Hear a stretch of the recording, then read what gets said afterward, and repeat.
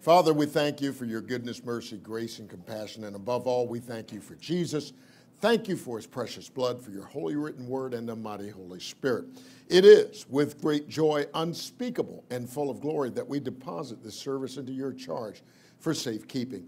Further, we welcome and invite the supernatural of God to be in manifestation in this service, even as the Spirit wills. And for all that shall be said, wrought, revealed, and manifested, we covenant to give you and you alone all the praise, the honor, and the glory with adoration and thanksgiving. I thank you for anointing this vessel of clay to minister life to your people boldly without fear, favor, or respect of persons, that your word may proceed as it does from your own mouth. It will not return to you void, but it will indeed prosper in the thing whereunto it is sent. We believe that we receive these petitions which we have desired of you for we ask them in that mighty, matchless, and majestic name that is above every name, the name of Jesus, and all the people of God said, Amen. amen. Glory to God. Glory to God. Glory to God. I want you to just lift your hands, everybody, and just give God a wave offering and just, just say, Glory to God. Thank God for Jesus. Praise the Most High God. Thank you, Lord. Thank you, Father. You are good, and your mercy endures forever and ever and ever. Hallelujah. Hallelujah. Hallelujah. Amen. Praise God. I want you to open your Bibles, please, this morning to Hebrews chapter 9. Hebrews chapter 9. Uh, now, guys, I, I don't necessarily need as much uh, monitor here. Sounds like I'm getting a little bit of uh, feed in here. Praise the Lord. Amen. Thank you, Jesus. Where did I tell you all to turn? Hebrews. I'm just checking on y'all, make sure. Okay, praise God. Hebrews chapter 9. Let's see. Okay, Hezekiah. Ah, amen. All right, here we go. I'm glad some of y'all chuckled. You all caught that, didn't you? Praise, praise the Lord. All right. I want to talk to you this morning a little bit about practical ways, practical ways to live in these critical times. The way that things are, and you know, we as a people of God are not necessarily focused on everything that's going on around us.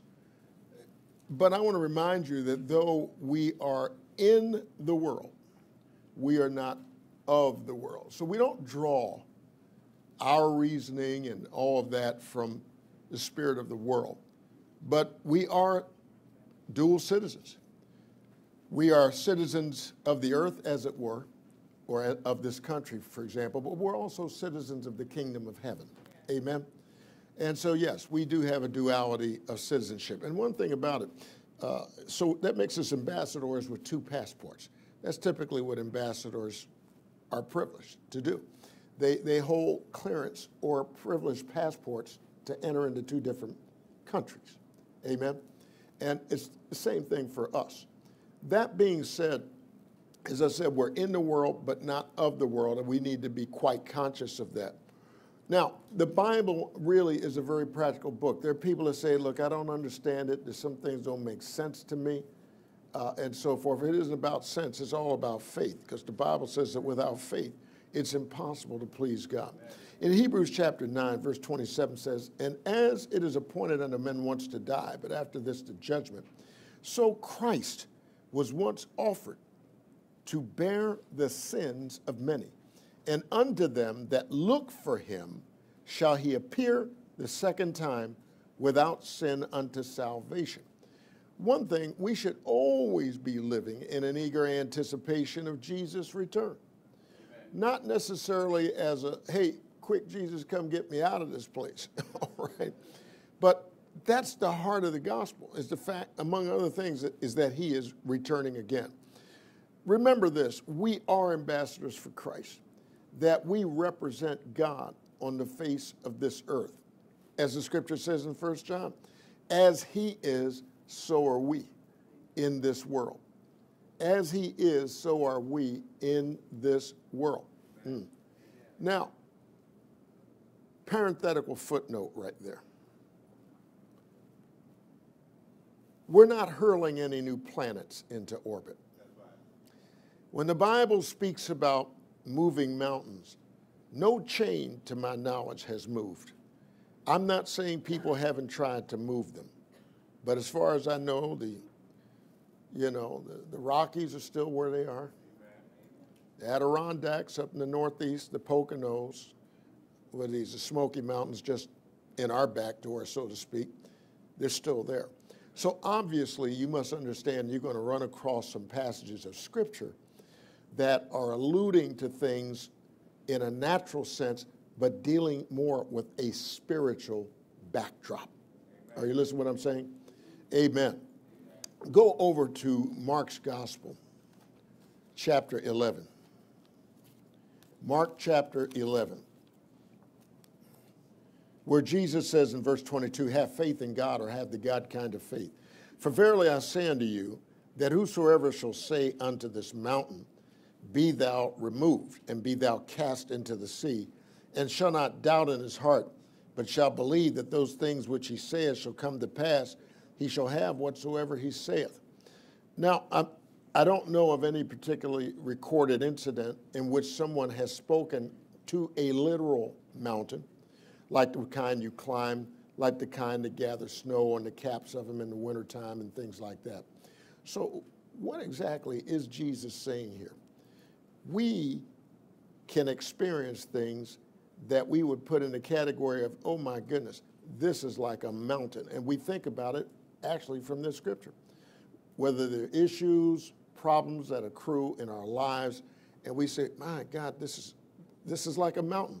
How, how will it move? Well, Jesus said, If, listen, I say to you that whosoever shall say unto this mountain. So the key here is saying, saying, speaking the word over whatever the issue is, over your own body, over whatever it might be that's troubling you, a, a challenged relationship, a troublesome child you're trying to rear and put some sense into. Amen. See, because you can't usurp authority over another person's will. But what you have to do, where those things are concerned, and let's explore that for just a moment, because there's a lot going on. Children are making very bad decisions, doing stuff. And let me just say something, because a lot of, pa- uh, not pastors, but parents, and pastors probably, uh, get a little bit troubled about these things and look into themselves and say, well, did I do a good job raising these kids? How, where did they get that from? How did this go? Well, you can't be with your kids 24 7. I'm not offering that as an excuse, I'm offering that as a fact. You simply can't be with them 24 7. Now, here's the deal. I, now, I'm going to sound like I'm going paradoxical on you a minute, and yet you can be with them 24 7 in spirit. In spirit. You know, I, I, think about, you say, well, how can you say such a thing? Well, I'm thinking back to an Old Testament event in which a man of God had an encounter with his own servant, Gehazi. Y'all remember that story? Well, you know, Naaman, a king of Syria, not a king, I'm sorry, a general of Syria, ended up with leprosy. And so, you know, he got word from his little maid in his house that there was a prophet who probably could get him healed of his leprosy. And so he went to the prophet's house and make a long story short, prophet didn't even come to the door. He sent his servant to meet the man. And the man said, just hold on here, general, be right back. He came back, he got a word from the prophet. Now, this is interesting. This is delegation. This is very interesting. Prophet didn't even come. Now, this is a high ranking general in the Syrian army, and he's leprous, a horrible flesh eating disease, and he wants healing. So the man of God sends a servant back with a word. It says, Go and dip in the Jordan River seven times, and then come again when this word came to the general, he was enraged. I think you'll find the story in 2 Kings chapter 5. He, got, he was enraged. He was upset. He said, Surely, now you can tell he'd been around a few religious meetings or something. He said that surely the man of God would have come out, struck his hand over the leper, and, and thus brought about healing. We all have our funny ideas about how God's going to do something. but you're never going to play armchair quarterback with the Most High God. All right? This shows that there are different ways that God heals. One way, but not the only way, is through the laying on of hands. Another one, of course, speaking the word over yourself. And so this man sent a word. The prophet sent a word. But isn't that what the scripture says in Psalms? He sent his word and healed them. Hmm? So it doesn't exactly say how he sent it. Although we can explore through the scripture and find out a number of different ways that God will send his word. He can send it through prophecy. He can send it through the word of wisdom, through the word of knowledge. He can send it through prophecy. I mean, he can send it any way that he wants to. And so in this case, he decided to send it through the man of God, who then conveyed it to a servant, who then delivered the word to the general. General was upset, but thank God he had a good, wise fellow that was in his entourage who said, Now, sir, if the man of God had bid you to do something more difficult, because that's what we expect, we got to go over the river and through the woods to get God to do some things for us. Well, honestly, that kind of thinking is a frustration to the grace of God. Why? Because, oh, oh man, Lord, help me here. I want to unpack this slowly. Because when we are challenged with different issues in our lives, some provoked by others, some provoked by ourselves, some provoked by the devil himself or some unclean spirit, we can be challenged in our thinking, well, you know, God might not be too interested in doing this for me right now. Let me, let me get all this debris out of the way. Let me get all these mountains out of the way. Let me get all this stuff. But see, here's the thing. What do, you, what do you do with the scripture that says now, casting all your cares over on him because he cares for you? If he wanted you to move everything out of the way, he would tell you. That's one thing I know about Jesus. He said, I'm going to prepare a place for you, that where I am, you may be also. If it wasn't true, I, I would have told you. Amen. Amen. Now, I, I understand about this loading lumber over into the realm of the Spirit. What are you going to do with that lumber? Amen. Jesus said, In my Father's house there are many mansions. If it weren't so, I would have told you.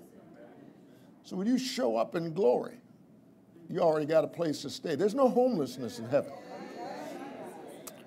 No. No sorrow, no pain.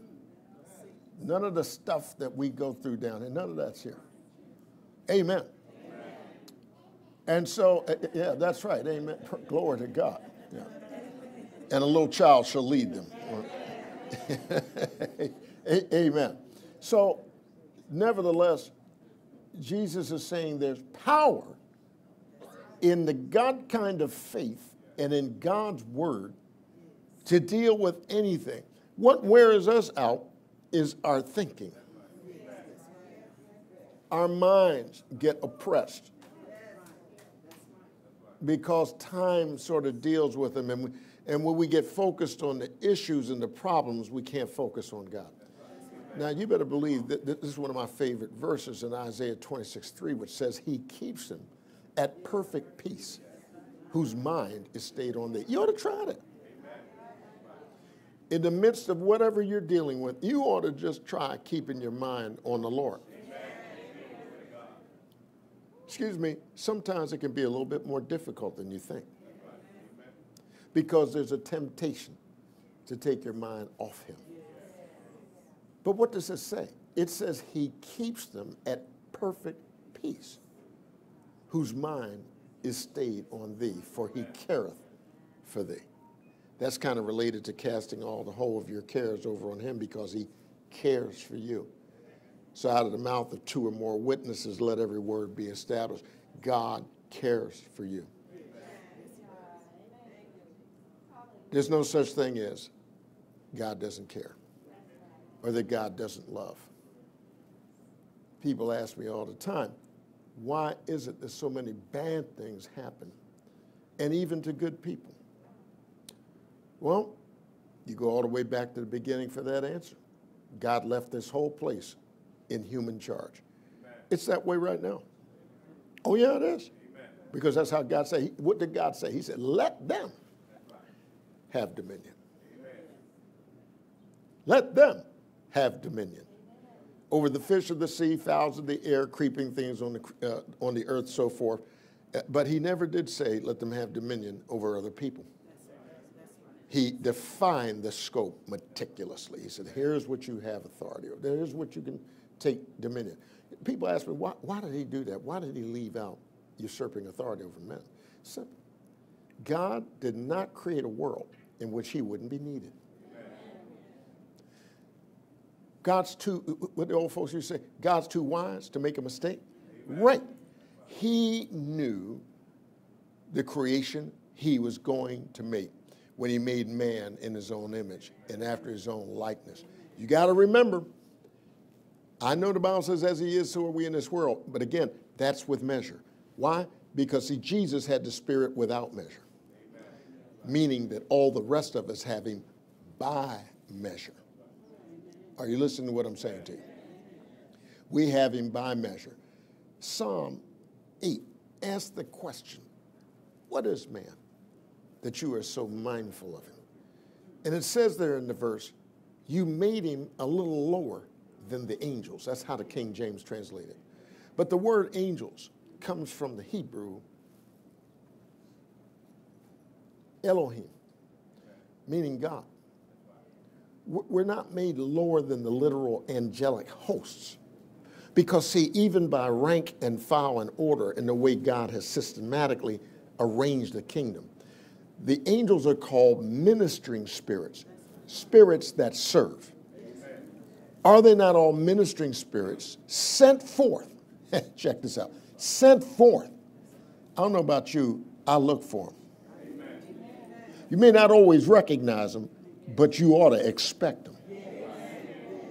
They're sent forth to minister for them who shall be the heirs of salvation. Point your finger at yourself and say, That's me. Say, I am an heir of salvation. That's, that's right. You're, you're more than an heir of salvation, you're a possessor of salvation. Because you've been saved by grace through faith, not of yourselves. It is a gift from God not of works, lest any man should boast. You did not save yourself.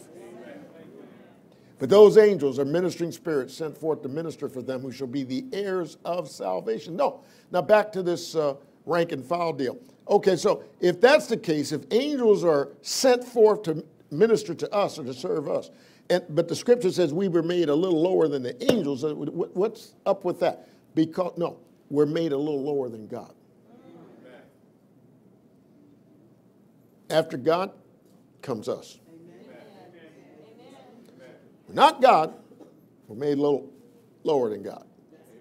So consequently, that's why I go back to the point that you know you're not going to hurl any more planets into orbit. You're not going to make any more real estate. Now, you, you can invest in real estate, you can buy real estate, you can trade real estate, sell real estate, but you're not going to make any more because whatever is there is there.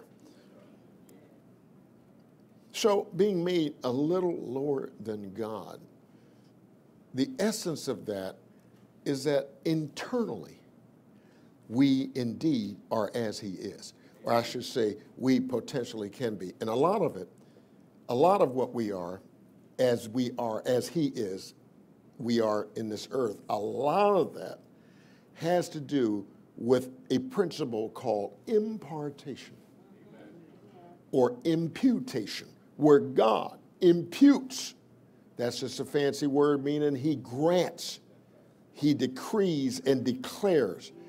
And by sovereign authority, he being God, the creator of heaven and earth, makes us what we are. He is the author, as revealed in Romans 4:17, of calling those things which be not as though they were. Oh my God. Every time a person is saved, God is calling things that be not as though they were. In the course of our everyday lives, we have encounters with Him, and God is in the process of calling those things that be not as though they were. Even when you and I mess up, We have an advocate with the Father, Jesus Christ the righteous. 1 John 1 9 says that if we confess our sin, now if we say we have no sin, the scripture says we lie and do not the truth. yeah, somebody mentioned to me about uh, Jacob and his limp. That came after he had a little wrestling match with an angel. You know, Jacob's ladder, they call it. He wrestled with that angel, said, I want you to bless me. The angel touched him in his thigh, and he walked with a limp ever since then. Amazing to me, man, that Jacob never asked God to come and heal that limp and get rid of it. But that's what he walked with. But nevertheless, God was no less gracious to him because of that issue.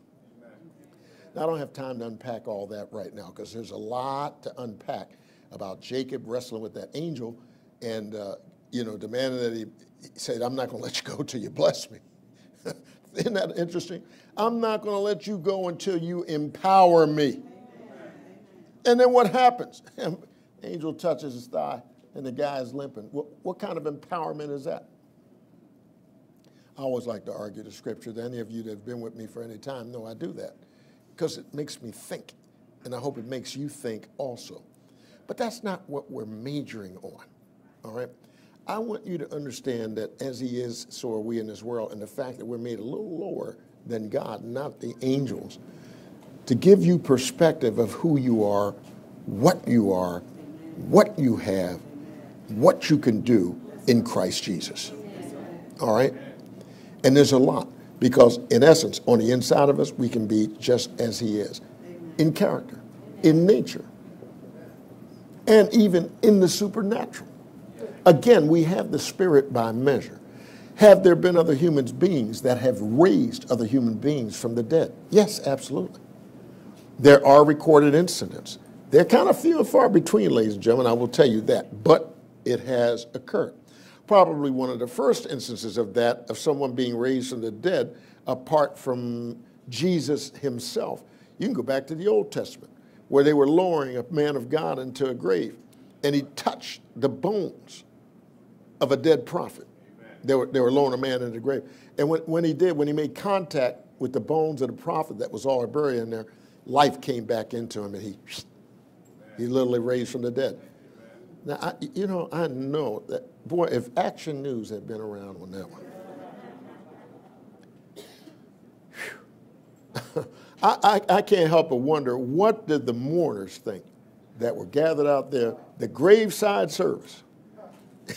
They're about to say goodbye, and a man, they, man makes contact with a prophet's bones and comes back to life. I'm sure it shocked and scared everybody. Oh my goodness. We thought this fellow was gone, no pulse, nothing.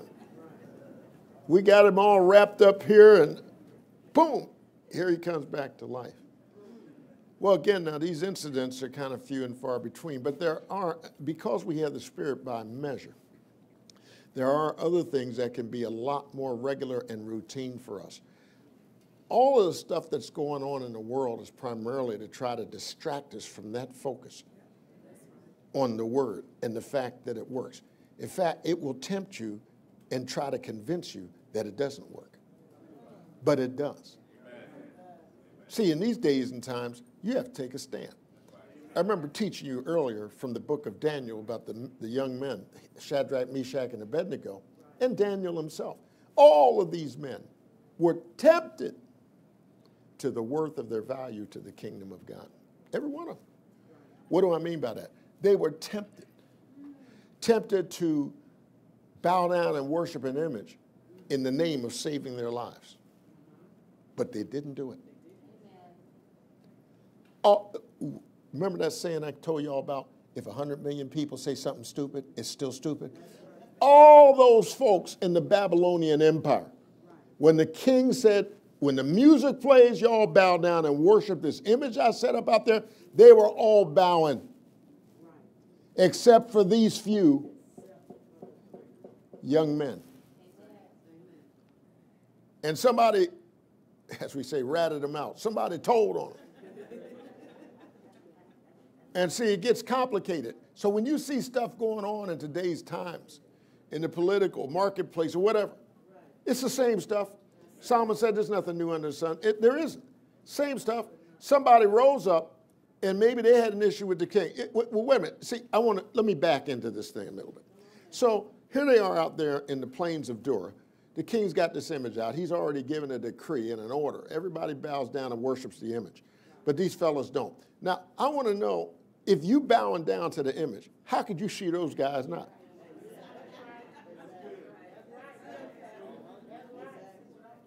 Now, let's give a little margin here.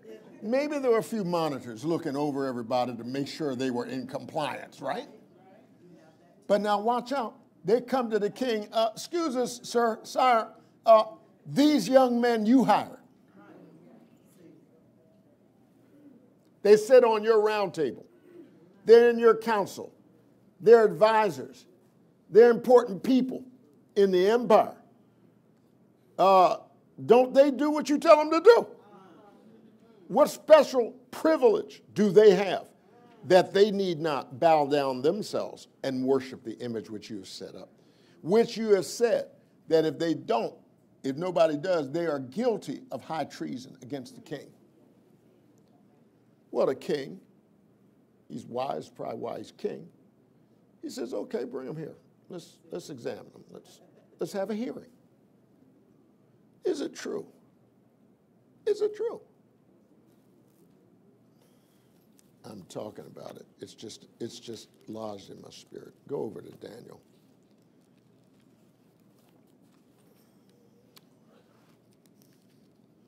Daniel chapter 3.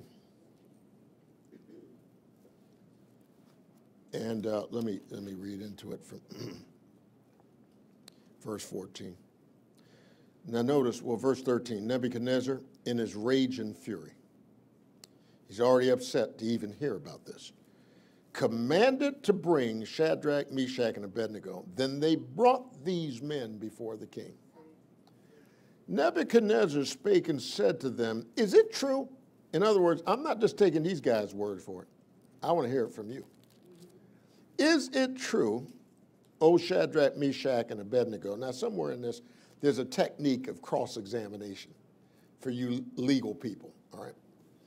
Is it true uh, that do not you serve my gods and worship the golden image which I have set up? I get a feeling that the king knew they didn't do this kind of stuff.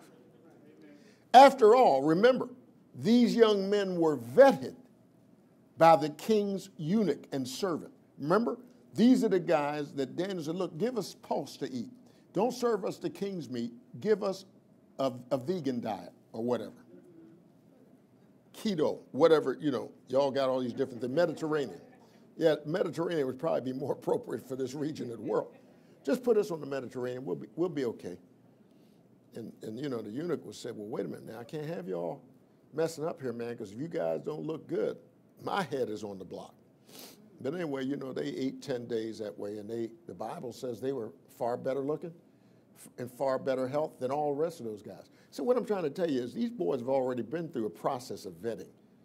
You're not going to sit and advise the king, and they don't know everything about you. They know what kind of toothpaste you use. They know how often you brush your teeth.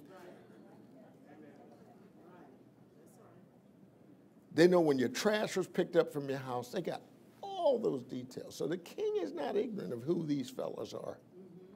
He's upset. He has become emotionally upset. See, in his rage and fury. Got it? Why is he in rage and fury? Because somebody dared to disobey him. So he, he is the supreme monarch. And are you telling me these fellows that sit at my table, they're, they're not going to do what I say? No, because they know there's somebody over you. Now, if you be ready, and I, for the sake of time, I'm not going to name all these instruments here. For, uh, he said, uh, if you be ready that at what time you hear, let's just say, the band get down, right? Uh, uh and you and you fall down. That's exactly what they would be doing. And worship the image which I've made well. But if you worship not, my brothers and sisters, you might say, Pastor, why are you even dealing with this passage? We've heard you talk about this before because you're living in these days. It's not an image of gold set up in a field somewhere. the image is a little bit different. The image is being delivered through other instruments, like publications, like declarations, like legislation. The image is different, but it's the same principle. Is it true that you do not believe in our curriculum for your children? Now, uh, if y'all teach these kids that they're not sure of who they are or what they are, well, but if we give you the curriculum and you don't teach it, or you don't agree to keep hidden from their parents the fact that we're trying to indoctrinate, the fact that we're trying to manipulate, because that's exactly what it is. Rebellion is as the sin of witchcraft. Witchcraft is manipulation. Now, there's, there's more to it than that, but that, ultimately, that is the objective and the goal of all witchcraft and manipulation. And they're manipulating people. Now, if you do what we tell you and teach these kids who don't know any better, uh, everything's going to be okay. But if not, we're going to prosecute you. We're going to fire you. We're going to send you out there. You're not going to have you're not going to be able to make a living. You're going to be penniless. You're going to be homeless. You're going to be broke. And we're going to blackball you too so you can't get hired anyplace else. Uh, uh, can I get a witness? Oh. Oh, then, then this historical truth has some pertinency to it then. Huh? Right. In this case, with the king, he's got an image out there. He says, everybody bow down and worship it. And if they don't, we're going to put you to death. We haven't got to that point yet. I remember this old Three Stooges movie. I, boy, there's, there's some funny guys, you know. Now, you, you have to tell your children who they are. They may not know. Moe, Larry, and Curly. And I remember they used to have this little thing. It was so funny. Whenever they heard the Niagara Falls, it said, slowly I turn, inch by inch, step by step. Thank you. That's how the devil is trying to work his way through our culture and through the world. Slowly he turns, inch by inch, step by step. And then, you know, the, the outcome in the Three Stooges was they were going after some guys to assault them or whatever the case might be. I, I, I never understood why that provoked that situation, but who cares? Look, the, the, whole point, the whole point is I'm trying to help you get a look at what your world looks like and where it all comes from. That is nothing new under the sun. It's the same thing. But now, if you worship not, I'm still in verse 15, you shall be cast the same hour into the midst of a burning fiery furnace. And who is that God that shall deliver you out of my hands? They're still asking that question today. You're a Christian. Where's your God? How's he going to save you from this? We have the power, we have the authority, we have the money, we have the clout. This, it's nothing but Nebuchadnezzar and Babylon. You think Babylon is named in the book of the Revelation just to fill space? No. There's a reason for that. That Babylon is named in the book of the Revelation, speaking of future uh, events and the impact that the culture of Babylon still bears to this day. The occult was strong in the Babylonian Empire. It was strong in most of those ancient empires the Egyptians, the Babylonians, the, the Medes, and the Persians, all of them. All of them were dibbling and dabbling in all that nonsense because the devil was in there trying to counterfeit everything. He can't create anything original, he just counterfeits what exists. He counterfeits governments, he counterfeits systems, he counterfeits worship. He count, what no marvel for even Satan himself appears as an angel of light and his ministers as ministers of righteousness. This is why It is indispensable, my brothers and sisters. There is no option. You must learn to be led by the Holy Spirit because He's the only one who can navigate you through these times. He truly is. And you need, you need to know Him. And you need to be able to listen and know this is, this is the Word of God. That's why, you know, when I went to college, I listened to lectures, but I had to study books. I had to do both. So I studied the Bible, but I had to learn to listen to the lecturer, who is the Holy Spirit, who Jesus said would lead me and guide me into the truth. Now, I've not seen the Holy Spirit, what I call in bodily form, reach his hand out and say, Come here, Joe, follow me. no, no. He hadn't pushed me, he hadn't pulled me. How does he do it? Through the inward witness. His, the Spirit of God speaks to my spirit and gives me checks and green lights. Go, don't go. Move, don't move. Say, don't say. And through that system, God leads us and guides us into, into the truth. And said he'll bring to our remembrance the things that he said. That's very important. Because if it can't be, whatever you're dealing with cannot be substantiated with the Word of God, don't waste your time. Don't lose sleep over it. Don't sweat over it. If it cannot be confirmed, affirmed, and, and anchored, rooted and grounded in the Word of God, don't bother with it. This is, this is the assault that's going on with your kids now. They're really going on with all of us. They're really trying to mess with our minds. Who, who, who are they? Your culture?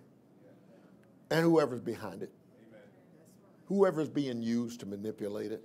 Oh yeah, my friends. Oh yes, yes, yes, yes, yes, yes. That's that's exactly how it's working here. And so, look, and it's the same question: Who is that God that will deliver you out of my hands? Well, you Christians, uh, who's going to help you when you lose your job? Who's going to take care of your children? Well, see, if you look into them, you see what they're going to deliver you. But when you're looking to God,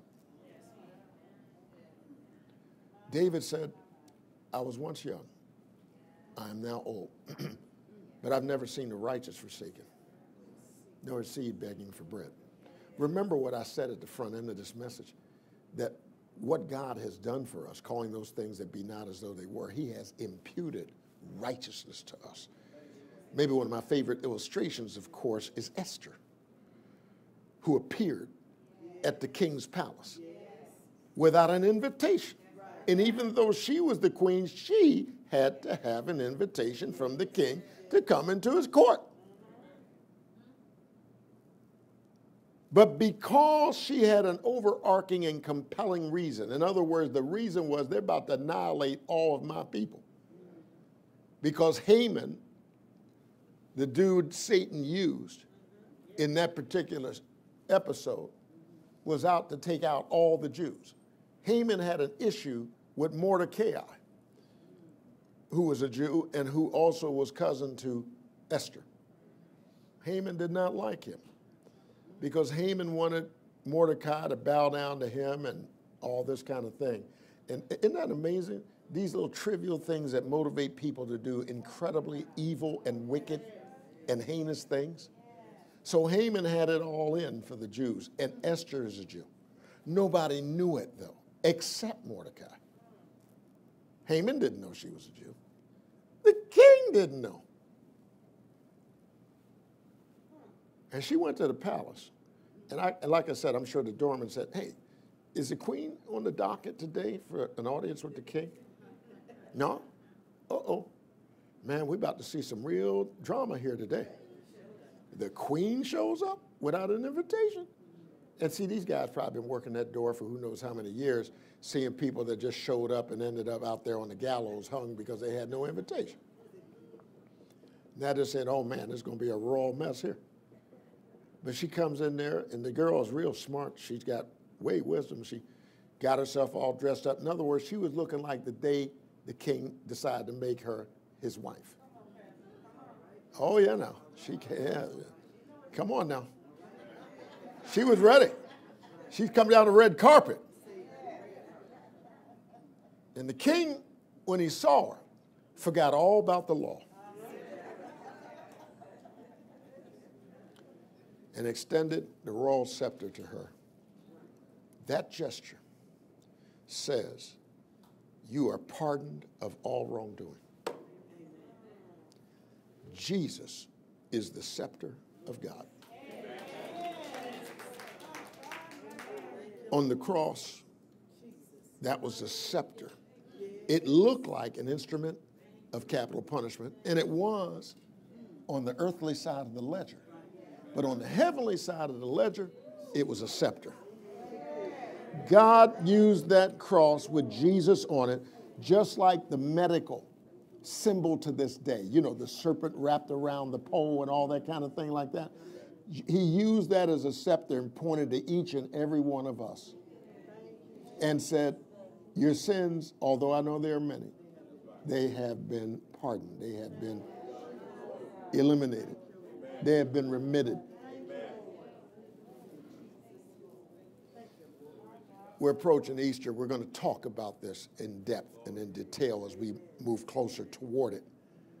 But it's important that we know this now. It's important we preach Jesus. It's important people really know who Jesus is. What, what is the Christ?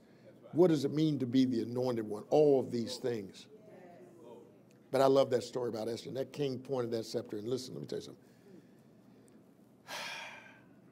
That was it. Just one gesture was the end of it all. He didn't call for a tribunal. He didn't call for a hearing. He didn't call for uh, anything. He just pointed the scepter and said, You're my girl. Come on in. What's on your mind? Let's talk about it. Like Lattimore said, let's straighten it out.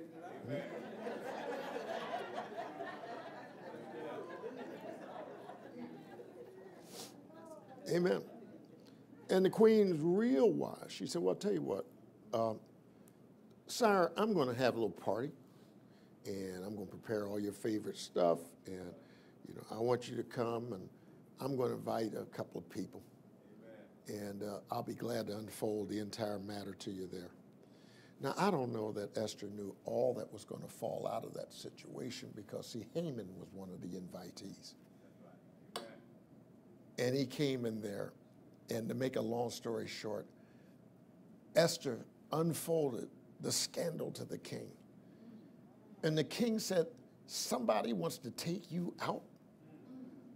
See, first of all, because see, when she disclosed to the king, I'm a Jew, these are my people.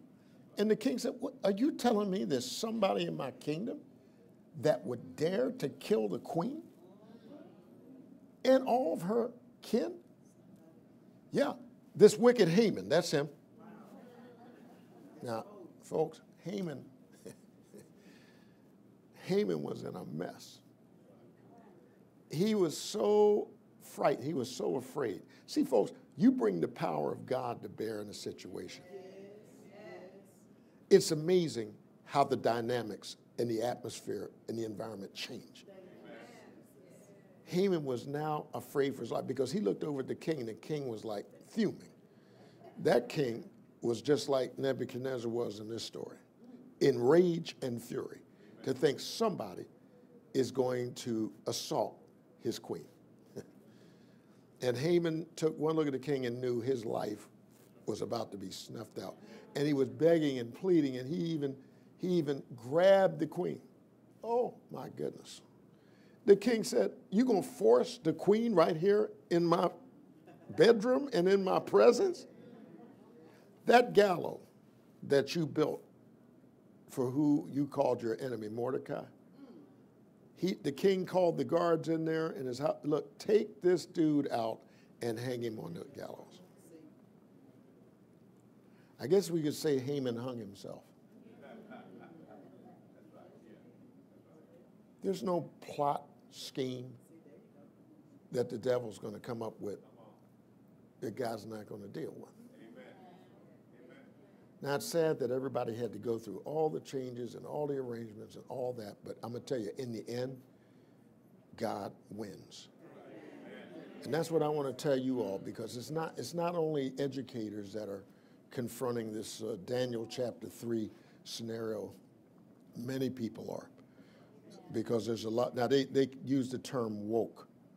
Woke companies, woke corporations who are basically, listen, I'm just going to be honest with you, they're bowing their knees if you can't see it, my brothers and sisters, look at what's going on in the culture. Amen. The culture is becoming absolutely desensitized to sin, desensitized to debauchery, desensitized to all evil and wickedness. That one, of, one of the 10 end time signs that I've taught you about over the years, the erasure of standards. One of the top Ivy League colleges in the country just said we're no longer going to require SATs and ACTs. I don't know how many of you, I know I did, had to get into college on the basis of my SAT scores and ACT scores and all that. And you got one of the top Ivy League schools in the country says we're no longer requiring that. They're lowering the requirements on law enforcement recruits. The devil isn't a fool, he makes fools. So they said, let's defund the police. Let's get rid of all the law enforcement. Let's wipe them out. Let's demoralize them. And crime is, is, is going, not is going to, is going through the roof. And they need officers so desperately that they're willing to eliminate what were once basic requirements for recruits. They're backing off certain physical qualifications. You ever see, you, come on, y'all watch those little crime shows on TV. You know, when a perp starts running away from the scene of crime and the officer's chasing him on foot, that officer got to be in good shape. He's got a sidearm, he's got all that stuff, his belt and everything. He's running, running, running, running, climbing fences, jumping over them whatever. You got to be in shape. So if we back off the standards,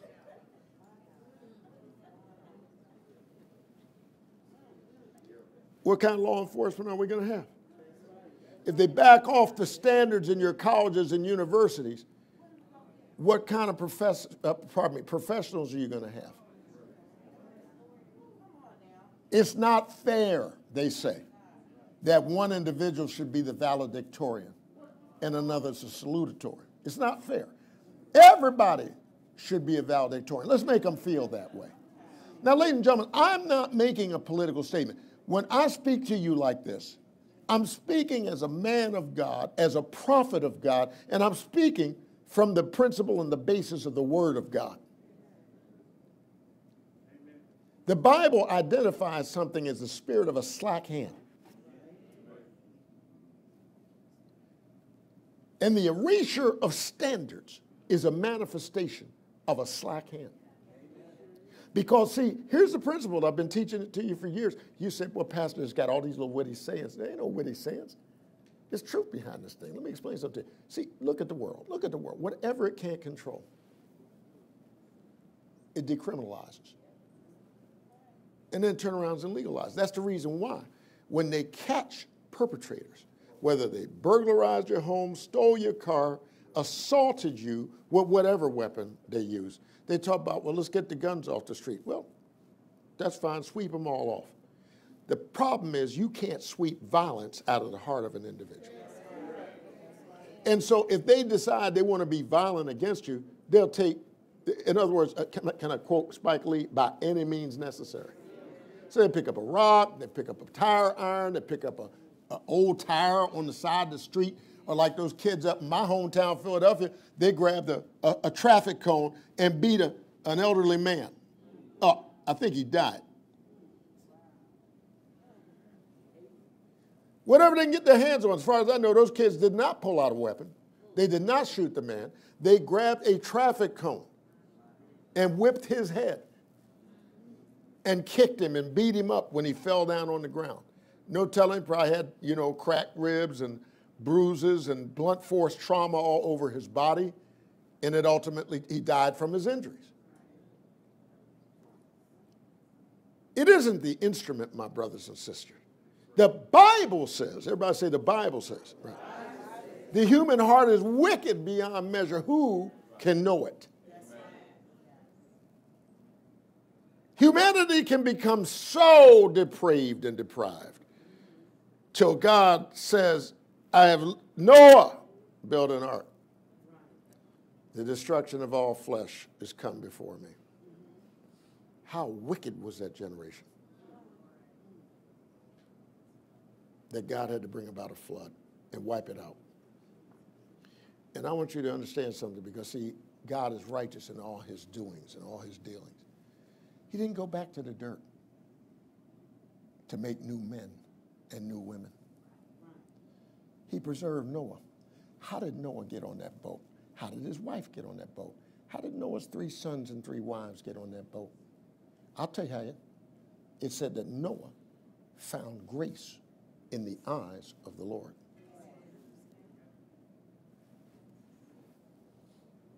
That's how he got on the boat. For all practical purposes, God counted him and his house righteous before him. And God preserved him and his family and, and started humanity all over again with them.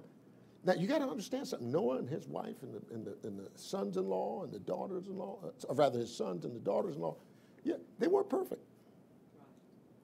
Remember now, Noah was 500 years old. He lived a long time to see a whole lot of stuff and hear a whole lot of stuff.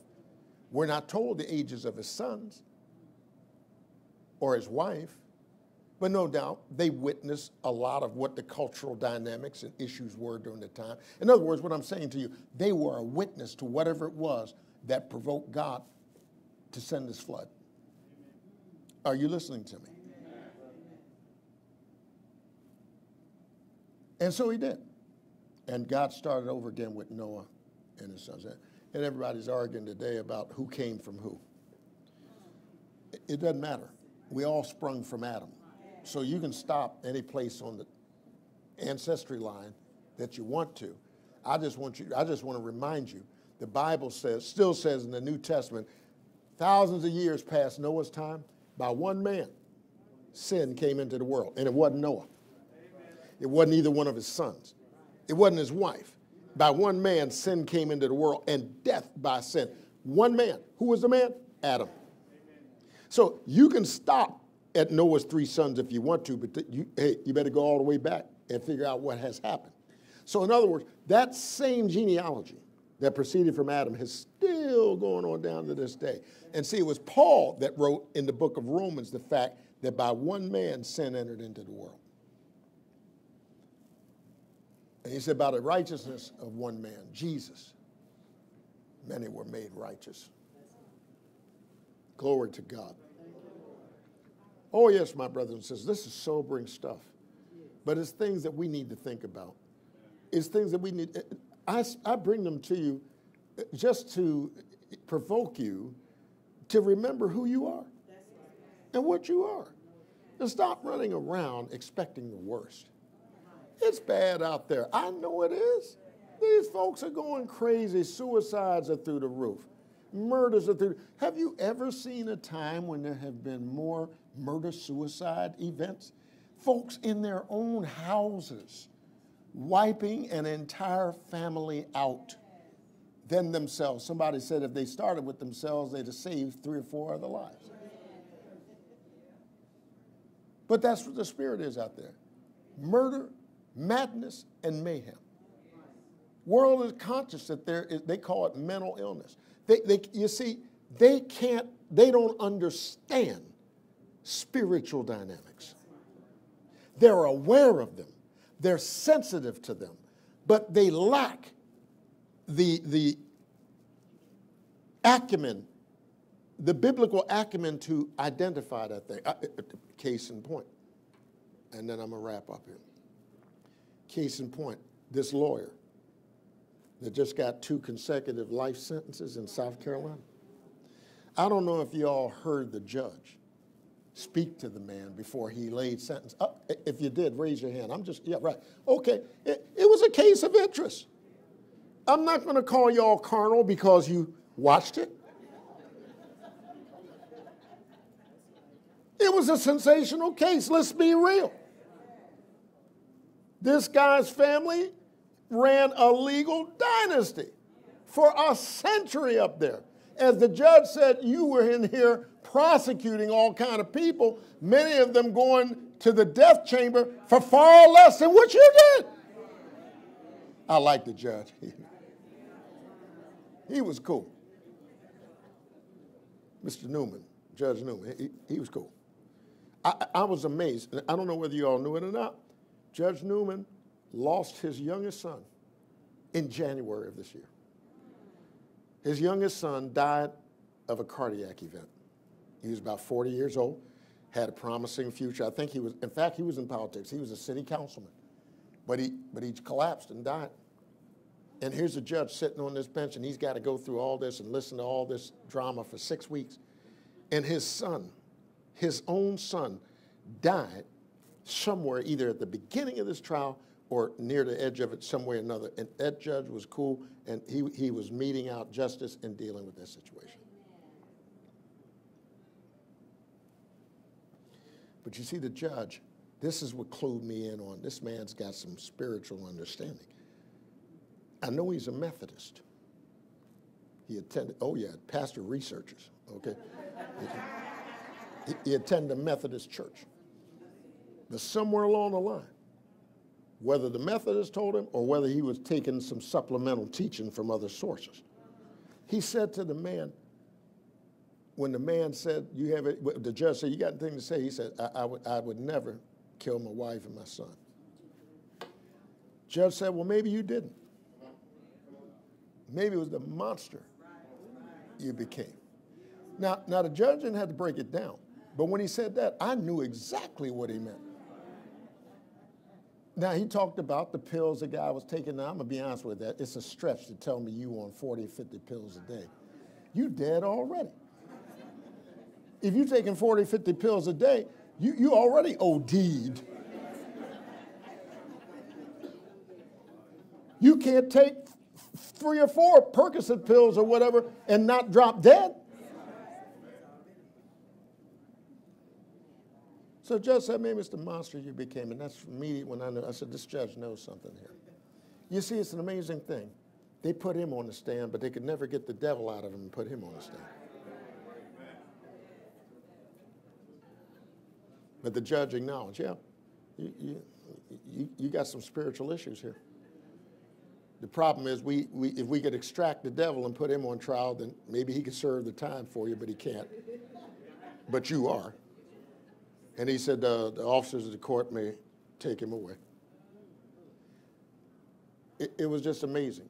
You see, my brothers and sisters, there's nothing wrong with you being aware of what's going on around you. Never lose sight of who you are and whose you are.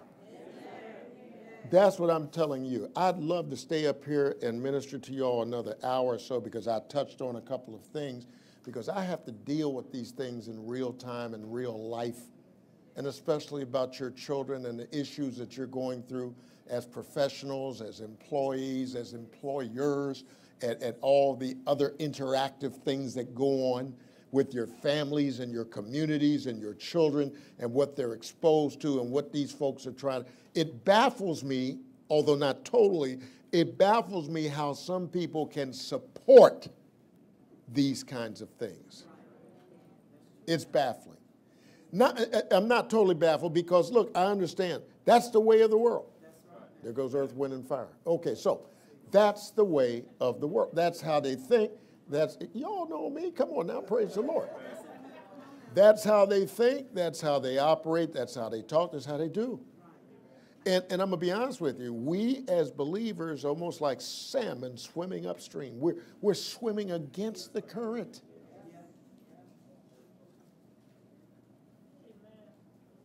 So when I ask you, Christian, who is that God?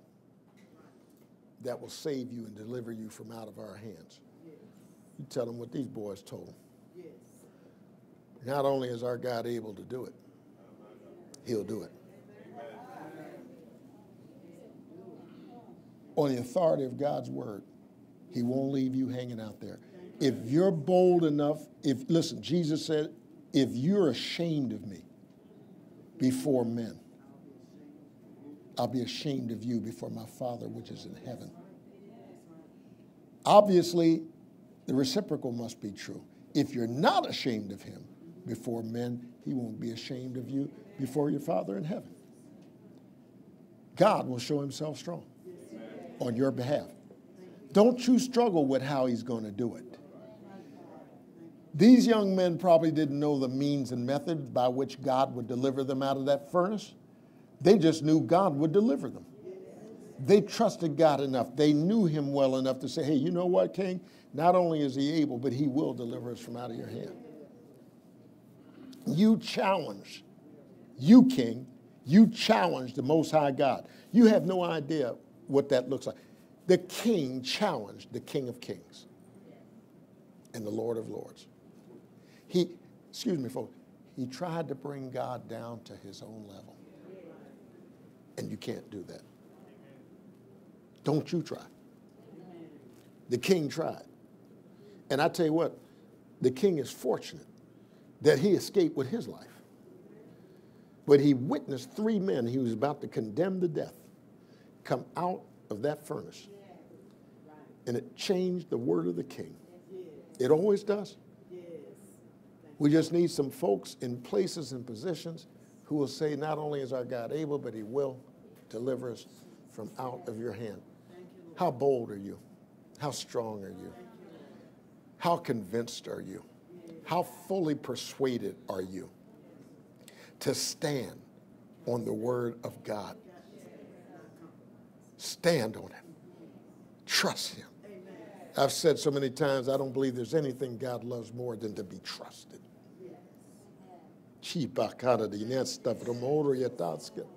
Father, my soul magnifies the Lord. And I rejoice in you, my Savior. Glory and honor and praise and might and power and dominion are yours, O God, from everlasting to everlasting, from the rising of the sun to the going down of the same. Your name is to be praised. I will bless the Lord at all times. His praises shall continually be in my mouth. Bless the Lord, O my soul, and all that is within me. Bless his holy name. Bless the Lord, O my soul, and forget not all his benefits. Hallelujah. Hallelujah. Benefits. Benefits put in place. For the word of the Lord says he has given us all things that pertain unto life and godliness. Thank you, Father. No weapon formed against us shall pros- prosper. Every tongue that rises up against us in judgment, we shall condemn or prove to be in the wrong.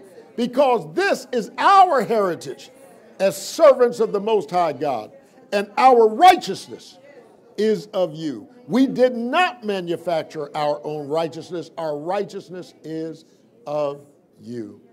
Glory to your name. Thank you, Jesus. Blessed be the name of the Lord. Hallelujah, hallelujah, hallelujah.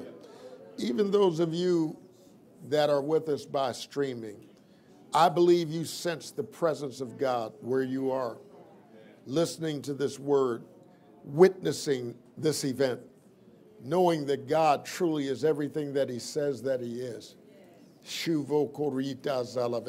If He said it, He will do it. And if He spoke it, He will make it good. Thank you, Jesus. Well, praise the Lord. I want to say to those of you that are tuned in by our live stream, whoever you are and wherever you are, if you don't know Jesus as your personal Savior and Lord, make Him Lord of your life today. Yeah, I said it like that. Make Him the Lord of your life today. You see, that is your decision. That, that should be your choice. Moses told the people of Israel, I call heaven and earth to record this day against you. I put before you this day life and death, blessing and cursing. But Moses said, choose life so that you and your seed may live. Because choices do have consequences. And consequences are not all negative. It sounds bad, but it's not always bad. The consequence of making Jesus the Lord of your life is you become a part of God's family. You become God's child. You become a citizen of the kingdom of heaven with all the rights, privileges, practices, and principles thereunto. All of it. And that is a great way to live. And now I invite you to come with us as we go boldly to the throne of grace to obtain mercy and find grace to help in time of need. Just bow your head where you are and pray this prayer from your heart and say, Dear God in heaven, I come to you realizing that in my life I have sinned and come short of your glory. I repent of all of my sin, and I confess with my mouth that Jesus Christ, the Son of the living God, who died on the cross and shed his blood to save me from all of my sin, is the Lord of my life. And I believe in my heart that you raised Jesus from the dead, that I might be justified, just as if I had never sinned. Lord Jesus, come into my heart and live in me now.